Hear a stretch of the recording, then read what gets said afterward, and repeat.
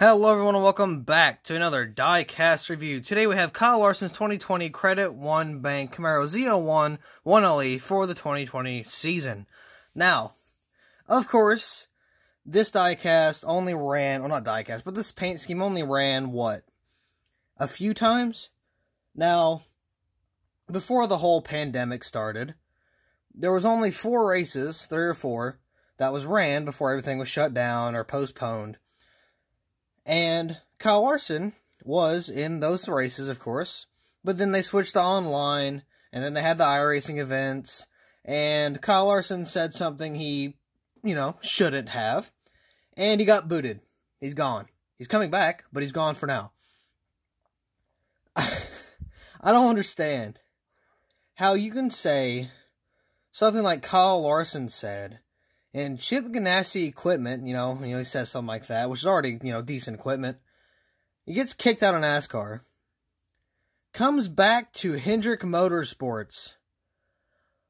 What? What? How? He literally got that was the best thing he's ever done in his career. Was mess up. I I don't understand. I don't know. But anyway, the reason I got this diecast was because it was from Circle B Diecast and it was marked down. It was like $30. So I got it. Not because of the price, not because of the driver, not because of anything specific other than one certain thing. And I'm sure you know what that is by now. But I won Talladega in the second season of the McDonald's Cup Series. Of course, I made the first one, which was in season one, and I'm going I'm going to make the second one for season two. Right here, it's sitting right here. I just got to make it. So, just like the Kyle Larson of 2019, and just like the Carl Larson of 2020, they're going to go hand in hand and go as customs for my personal use uh, for my league wins in NASCAR Heat 4 and 5. So, yeah, I had to get the 2020 mold, of course. It's the new mold. It's got the Cup Series banner. And for whatever reason, Lionel is putting the short spoilers on the ones that are supposed to have tall spoilers. So, like, for example, uh, the Alex Bowman came with a short spoiler when it was supposed to have a long spoiler or a tall spoiler. And that was sad. You know, that was pretty sad. But this custom was going to be a Talladega race twin. That's a plate track. They got the big spoilers and splitters and stuff, right? I took a gamble. I'm like, you know what? This diecast is newer, or older, I guess, compared to now. They started putting out the, the tall spoilers, and then they did, you know, the short spoilers and the mix and match. But I'm like, well, this is where this is the beginning of the year. Maybe, maybe I'll get a tall spoiler. And I did. Luckily, I got a tall spoiler. I already had this out of the package. I took an Instagram picture, and that was it. I saw nothing else. It's still on the base. And fun fact, I don't have any. I don't have a screwdriver, so I'm just gonna have to review it on the base, sadly. But I mean, hey, you know, it is what it is. But anyway, to the actual diecast. Kyle Larson, Lionel Racing, the official diecast in NASCAR. Standard finish, of course, nothing crazy. Uh, Credit One Bank 2020. Got the render of the car right there. On the roof, on the roof, wow. On the top, you got Kyle Larson, 42, Cup Series, Chip Ganassi, 124 scale stock car, and you got Kyle Larson there. On the back, let's go ahead and take a look at this. You got Kyle Larson, 42, you know, nothing special.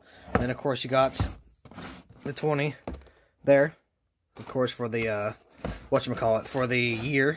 And then on the front, says you got the tag, Kyle Larson, Credit One Bank, 2020, Camaro ZL1, one of 600. So there were 600 of these made uh, the standard finish at least, and I got one of them. I don't know what VIN number this is, but we'll have to take a look at that here in just a second. So I'm not going to do any editing.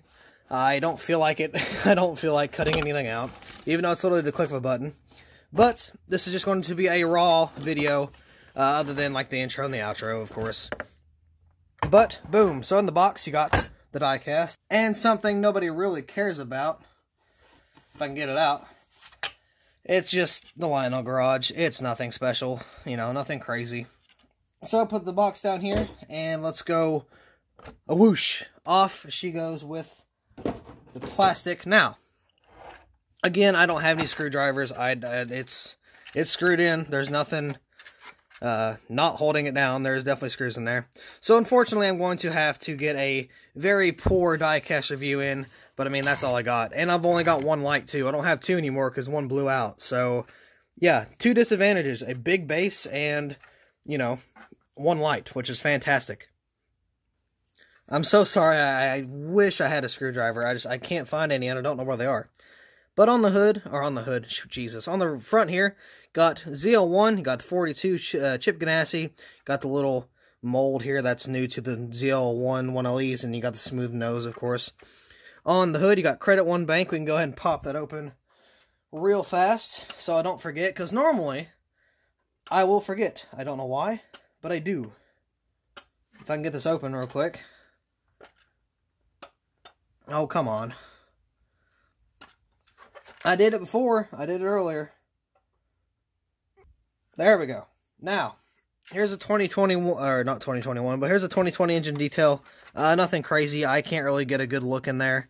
Uh, again, I have one light and it sucks. I can't really get a good job in there, but you can see there's a couple little different paints of there, of there, in there, I guess. Got Credit One Bank on the hood. And you got Cup Series right there on the banner. You got the little camera, of course, you know. Nothing crazy. Let's kind of scoot this back. Give me my light, please. Thank you. Got the 42, Credit One Blank. Blank. Wow, I cannot speak today. Come on, Wrangler. Speak up. Be a man. Talk. Credit One Bank, or just Credit One, really. Roof flaps do deploy, of course. You got Larson right here on the back. What's the VIN number? 544. So almost like right at the end of the makes, I guess, right at the end of the numbers. Uh, I think there was, what, was 600? Uh, yep, 600. So 544 of 600. Nothing on the deck lid. Of course, we got the big spoiler, thank God. I'm glad we have that. That's good. I need that for the Talladega package looking, of course, because I ordered a different one for Christmas, and it probably has the short spoiler and that's tough. I hope it doesn't. But, I mean, if it does, it does. If not, if not, I'll keep it until I need it for something. But there's the back. You got Credit One Bank. You got the tail lights. You got the little, I guess that's a camera. No, it's like, no, it's a card. That's Credit One card. You got the camera up there. There's the camera. Got the ZL1 in Camaro. That's a little low. You don't really see that error on 124s that much.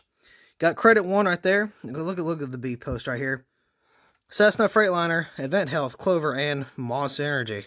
Wow, how about that? Got Kyle Larson there. Got the American flag. Got the 42. You got these stripes here and stuff. You got the little exhaust pipe and whatnot. Got Cup Series, 3M Lincoln Welders, Simons. What is, what are these? I can't tell that first one. Uh, Sherwin-Williams and Lincoln Welders. Then you got, let's see, a NASCAR race car there, of course. But I mean, yeah, I got Goodyear, and that's about it. That's not really much else to it. I showed you the interior, or not the interior, but the hood design, the roof flaps, and that stuff. So, nothing crazy, but I mean, yeah, I wish they had the opening trunks on the ARCs like they did back in 2017. But I mean, you know, it is what it is. It happens. I wish they just kept it, but I mean, I know, I understand. Actually, I don't, because they don't put a lot of detail into these, actually. Uh, I'm telling you, man, if I was in Lionel, if I was the head of Lionel, so much more detail would be put into this diecast. I care about this hobby too much to not be ahead of something like that and not make a change. But yeah, that's it. There's nothing else to show. So with that being said, remember, this is going to be turned into a diecast, or custom diecast, of my Talladega win, so look out for that. That should be pretty soon, as, as soon as I can find a screwdriver, I can tell you that much.